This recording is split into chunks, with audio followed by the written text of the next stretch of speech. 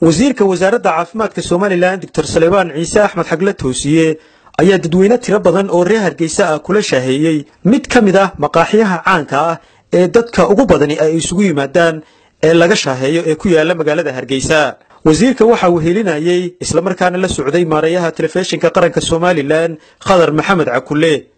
Wasiirka wasaaradda caafimaadka somalilan doctor xagle toosiye waxa ay halkaasi ku wada shaaheeyeen dhallinyaro badan oo reer hargeysa islamarkaana kaftan iyo is-xog waraysi uu dhex maray.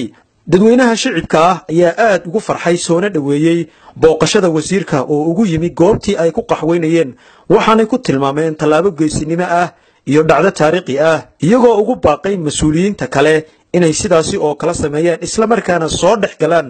goobaha ay bulshada isugu timaado somalilan lagu dhawaaqay koob iyo sagaashankii oo markii ugu horreysay aan wasiir aan la shaaheeyo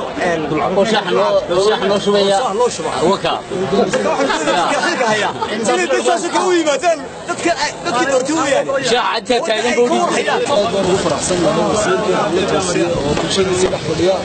taasi waxay tahay dhiirigelin shacabka ayay u tahay intii aad iyo aad baan soo dhaweynaynaa wasiirka iyo dadka helinaya